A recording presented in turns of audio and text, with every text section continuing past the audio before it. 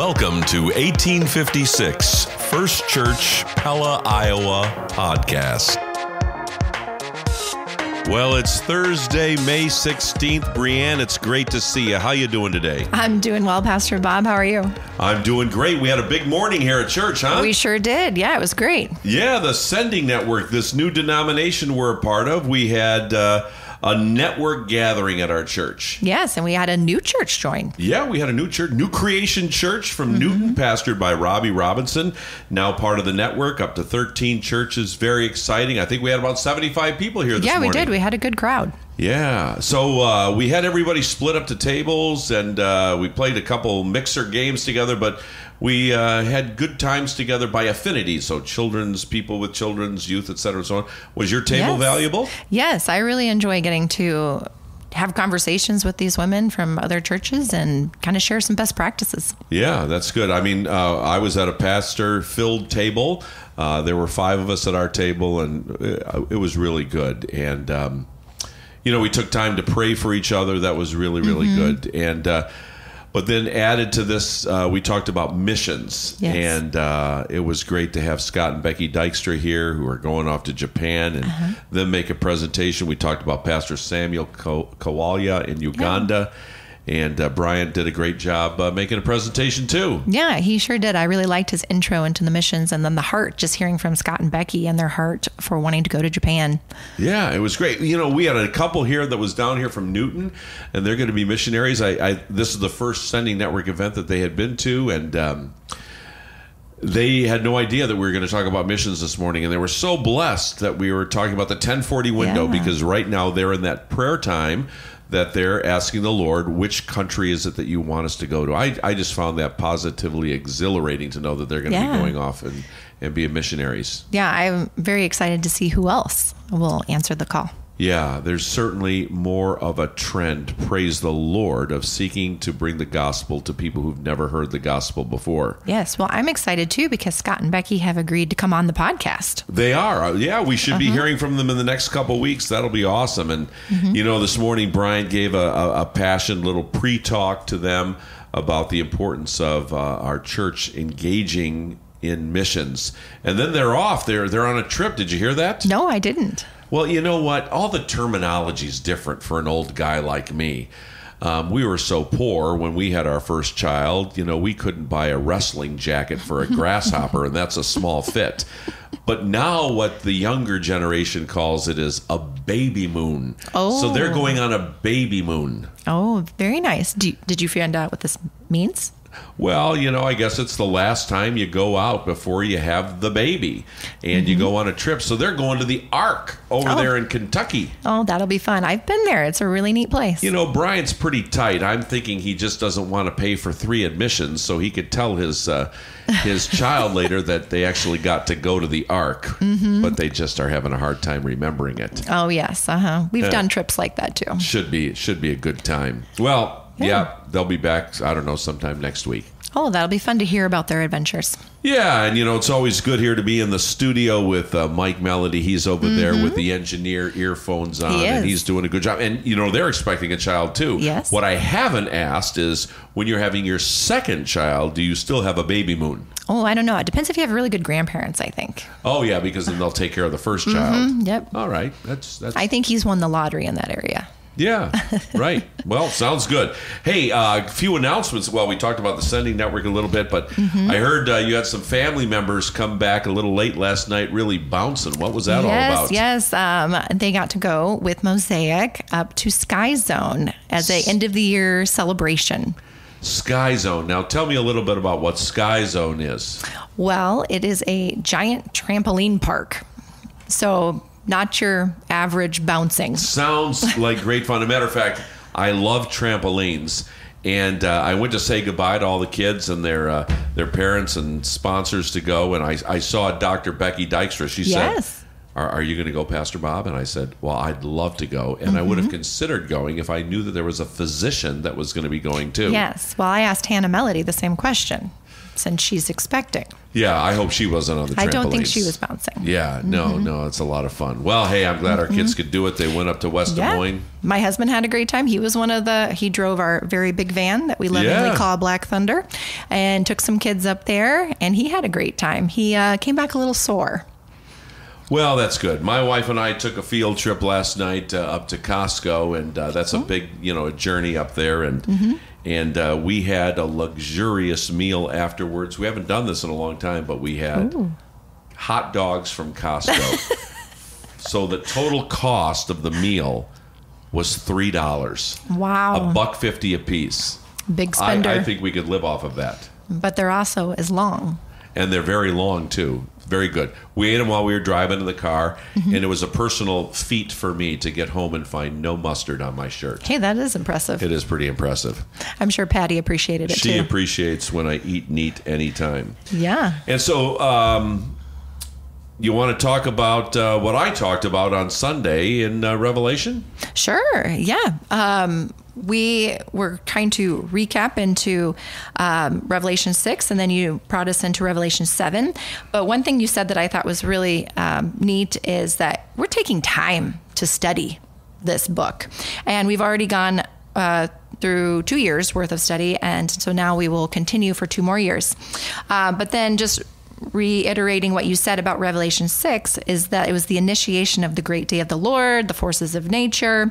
Um, and then this past weekend, you talked about Revelation 7 as this interlude, a break. Um, 144,000 was a number, which we'll get to a little bit later. But um, I wondered if you could uh, start with.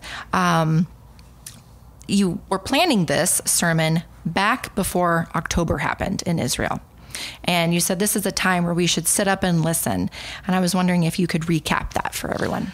Yeah, well, first of all, going at what you said initially, you know, just about doing these series on Revelation. So, a couple years ago, we did a series called The Seven Letters. That's a nice, easy division for that first part. There's more than mm-hmm. the seven letters there, but that's that, that's kind of the nuggets. So, this year, we're doing the seven seals, even though in chapter four and five, we get this picture of the throne room of the Lord that we go into, significant there. And then, of course, uh, next year we'll do the trumpets. There, there's there's uh, the trumpet judgments, and then the following year we'll do the bowl judgments, of which that will take us all the way to the new heavens and the new earth, which will be very exciting. So, you know, on October 7th, there was this brutal, terrible attack into Israel by a terrorist group uh, known as Hamas. It was awful. It was dreadful. We have people that we know over there in Israel. We talked to them. They confirmed it was awful and it was dreadful. The worst attack on Israel since literally World War II, the Holocaust. And um, and so people will wonder, well, what what's going on there? Why is this happening to Israel? Is this significant? And of course, we have a polarization in America. I would say the majority of people are very pro-Israel. They're our ally. Um, they're a democracy in the Middle East uh, amongst many non-democracy non-democracies there. And so I believe that Israel plays a prominent role as we look at our eschatology. Mm-hmm. And this is one of the reasons that when something like that happens, we have to sit up and listen. Do we know exactly where it falls into end times eschatology? No, no. But something's going on. Mm-hmm. Why does so much of the world dislike Israel? Why are there these protests going on in campuses throughout America about Israel? This is a country that's the size of the state of New Jersey. They're a mm-hmm. democracy. And the forces of evil that came against us, these are not good people. These are people who have brought terror to that land, and they will bring terror to whatever land that they're in. What's going on? Well, I can't help but think that what we have introduced in uh, the chapter that we studied this past week, these Jewish evangelists that I believe are going to be risen up, this 144,000, I believe that God is going to use these 144,000 sealed people from Israel to uh, wage one of the greatest revivals we've ever seen in the history of humanity. And people are going to come to know Jesus at a tremendous rate. And this is going to usher in the second coming of Christ. Hmm. Now, what does the devil not want? Right. the second coming of Christ. Because be assured, the devil's read the end of the book. And when Christ comes back, the devil is going to be flushed into the lake of fire for eternity. Mm-hmm. And so, why wouldn't the devil do everything in his power to get rid of Israel? And I believe that's what we need to sit up and listen about when we see this huge stampede coming up against Israel. Mm-hmm. Honestly, I don't want to turn this into, into a political podcast, but we already know now that over 50% of the protesters on these campuses aren't students. Mm. They are paid protesters who are coming in. Why would somebody go to this length to mm-hmm. protest against Israel? Most of these people, if they were asked anything about the history of Palestine and Israel, wouldn't be able to tell you anything. Something bigger is going on, and I would suggest people consult their scriptures. Good. Um, you went on after that. That was a great introduction.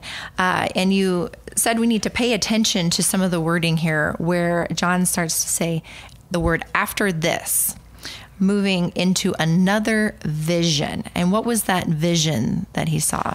Yeah, when you're reading through the book of Revelation, um, we, we sometimes can lose sight of the fact that these are visions that John is having. Okay, and so um, it's it's it's not a continual singular vision. He has a variety of visions, and mm-hmm. so when we see those words after this in Revelation, that is usually an indication. Okay, I've had a break from the last one. Mm-hmm. However long he got a breather for, I don't know, but he got some sort of a breather. So when we were looking at um, the the great day of the Lord and the earthquake and the sun turning black and the mm-hmm. moon turning red and and meteor showers and islands and mountains moving. Okay, this this was big. I'm sure John's mouth was wide open, and then that vision ended. Oh, he got to take a breath. And now the Bible says, after this, now he's going to get another one. Mm-hmm. And it starts out with him seeing four angels. Now, how he sees this, mm-hmm. I don't know. But the Bible says he does. So somehow he was allowed to see this. Four angels, the four corners of the earth, holding back wind. Yeah. Wow. And so we can immediately ask the question well, what does that mean? Well, let's go with the literal, for instance. How about that it means they're holding back mm-hmm. the wind? And, and certainly the text gives us indication of that, that nothing's blowing around. There's no trees that are moving, et cetera, and so on. So think about this. If the angels are holding back the wind, that would mean there's no cloud movement. That would mean there's no waves on the ocean. There is perfect stillness. Now, the last vision was absolutely a cacophony of disasters going on.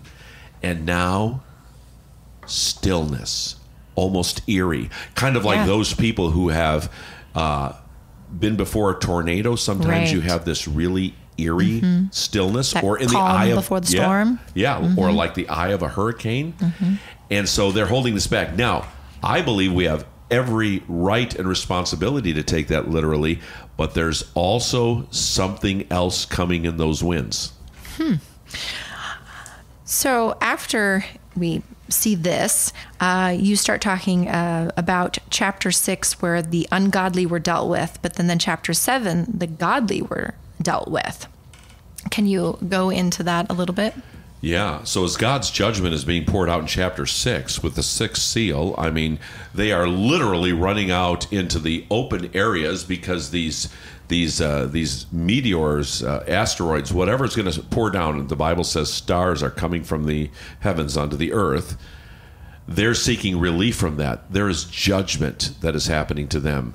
Now, as we turn into chapter seven, what we're seeing is this is protection for the godly.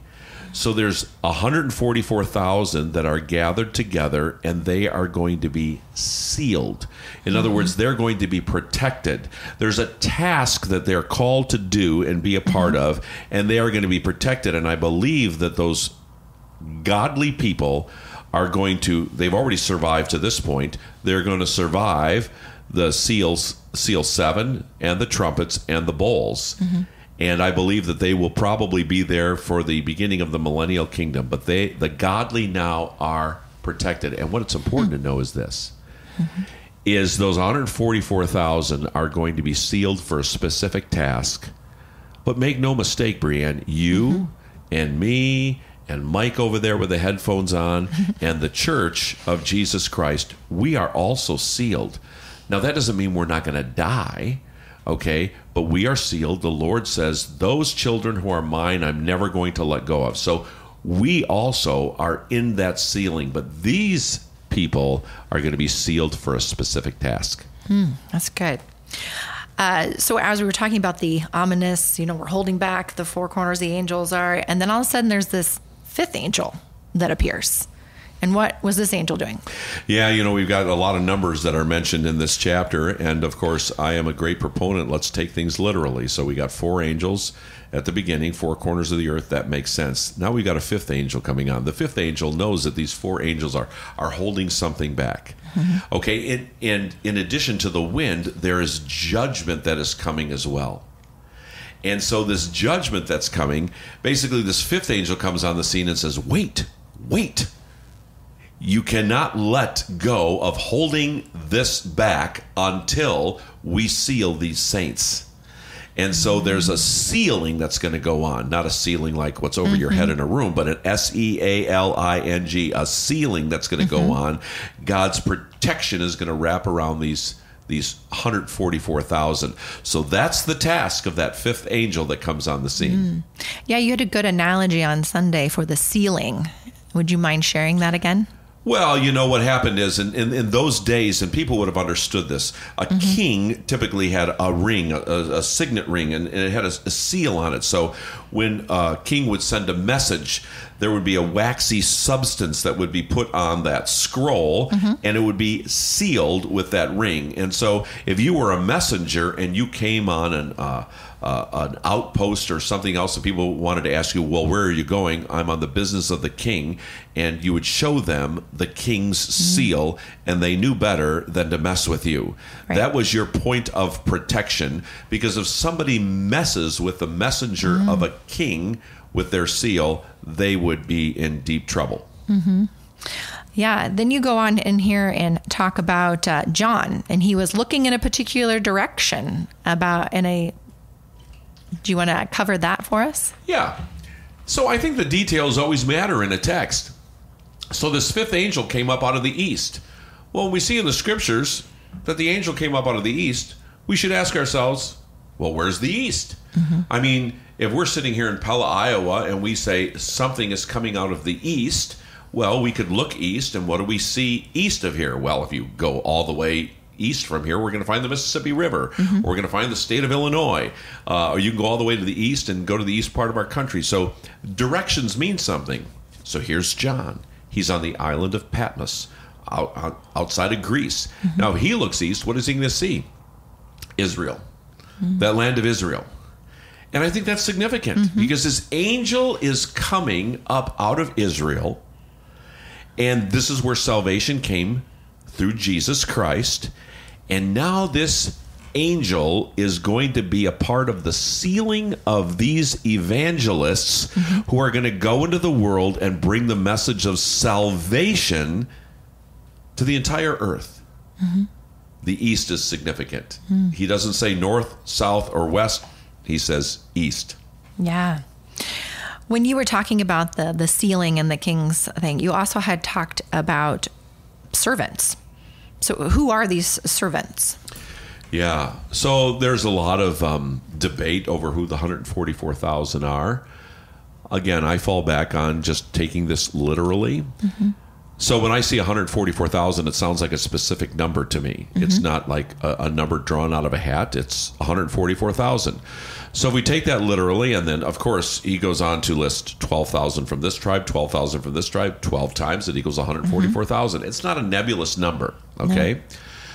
So the Lord somehow is going to gather 12,000 from each of these tribes together.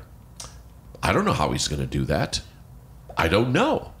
Um, some people would like to say, well, the 10 tribes of Israel uh, to the north, that northern uh, country that was taken off by Assyria, that they're no more. Well, we also know from history that many people from the north even migrated to the south. Those people were faithful to Yahweh and they migrated to the south. And so the idea that there are 12,000 of each of these tribes in existence in the world when this happens, that's not hard for me to believe.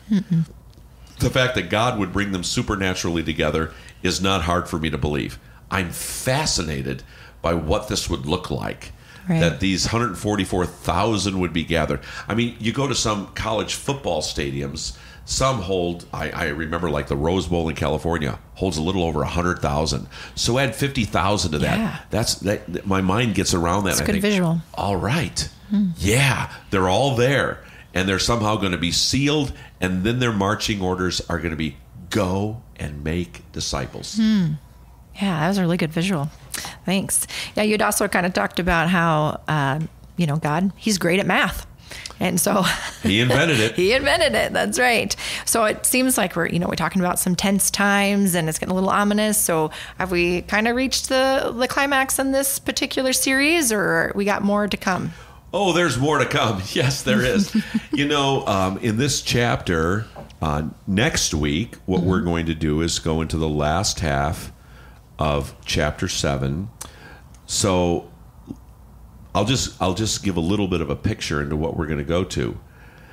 This week we had 144,000 very alive people that are going to go on a mission. I don't know how much time takes place between the passage that we studied last week and the passage we, we're going to study this week. Mm-hmm. But then we're going to get a picture of in heaven martyred saints. Mm-hmm. And these are saints that come out of the tribulation.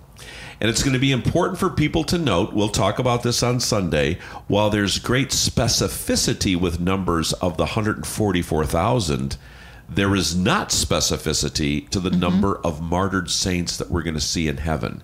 Mm-hmm. And so that just is that contrast in numbers, specific mm-hmm. and not specific. It's just like if I hand you a pile of money and I say there's $50 here, you would count it out. Yes, there's $50. If I brought in six hefty bags full of money and I said, this is for you, Breanne, there's gobs and gobs of money in there. Mm, thank you. Could you say how much there was in there? No, No. because I haven't given any specificity to it. Mm-hmm. You can count it later, and if they were all dollar bills, it'd be this much. If they were hundred dollar bills, it'd be this much. Mm. So we go to a part of Scripture that's going to say thousands upon 1000s mm-hmm. and we're just going to get this picture, and it's a beautiful picture of a mass of people who've been saved by the blood of the Lamb. Yeah. Well, you finished uh, the sermon with a really good quote. Um, I believe it's your quote. It's not my quote. Oh, okay. Any good quote is not my quote. Well, you're talking about all the specificity, and it's like, hey, if literal sense makes sense, seek no other sense, or you may end up with nonsense. Yeah, somebody gave that to me some years ago. I really, really appreciated it in terms of reading the Bible. I thought, uh, great old pastor who's still on the radio in many parts of the country, J. Vernon McGee. I thought that quote was his, and maybe he used it. Um, but I, I, I looked it up on the internet. I, I couldn't find the person who said it. So, but what's so good about that quote when we read the scriptures, you know what? If the scriptures are making sense, don't add any additional sense. Because sometimes we create, I believe, nonsense in doing that. And so we should always seek to accept the literal nature. We call it in our hermeneutics, hermeneutics meaning uh, the science of interpreting the scriptures, uh, a historical grammatical hermeneutic. And so we want to take it literally, you know, first of all, in the context that it was given. And then what we do is we apply it to now. And um, so to me, 144,000 means 144,000. Mm-hmm. To me, angels holding back wind mean angels holding back wind. Mm-hmm. and so it actually helps people understand a book of the Bible that they have struggled with for so long. Mm-hmm. because people are oftentimes trying to say, well, no, that doesn't mean that. For instance, some will say the 144,000 are the church. Well, you can look at that passage all day and you could say, well, it doesn't look like the church. It looks like 144,000 Jewish people. And if you keep saying it's the church, well, it's how is it the church if it's if it's people from every one of the tribes? Mm-hmm.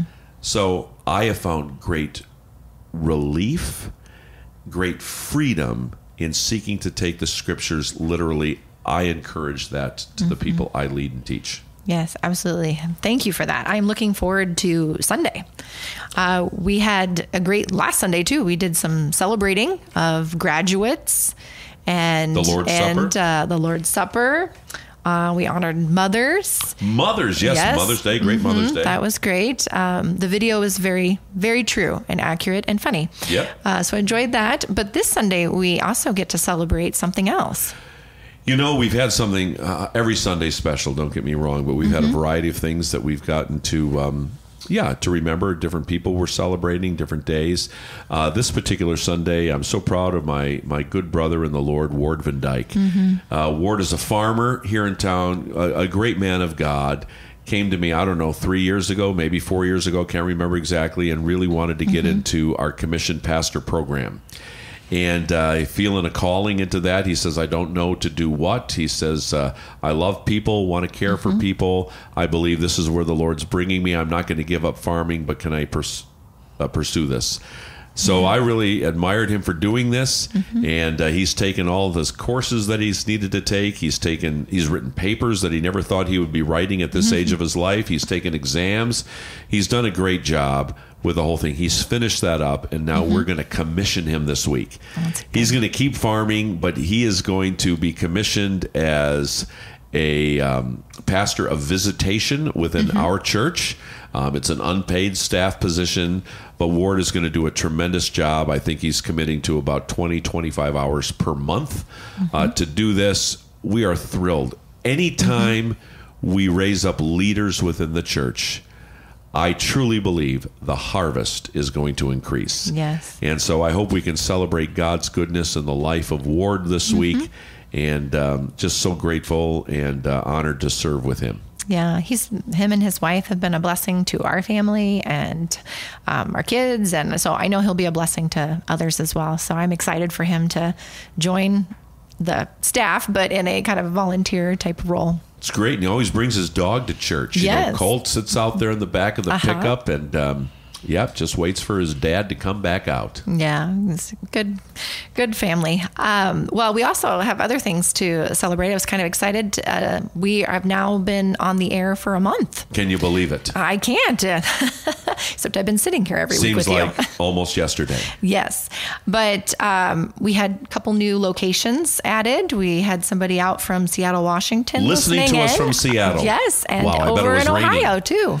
In Ohio, too. That's my birth state. So maybe people Okay. realize I was born in Ohio and are listening. Yeah, so I mean, if people are enjoying it, uh, they now have the option to message us. They No can click onto it, and if so, if they're enjoying it or they have a question, they can send it in to us. Beautiful. Yes, but. Uh, I hope people will come on Sunday and celebrate with us. It's going to be a great day. Yeah, service is at nine thirty, so don't forget. Service is 9:30. Uh, Folks, thanks for joining us today. Have a wonderful, super great, fantastic day. God bless you.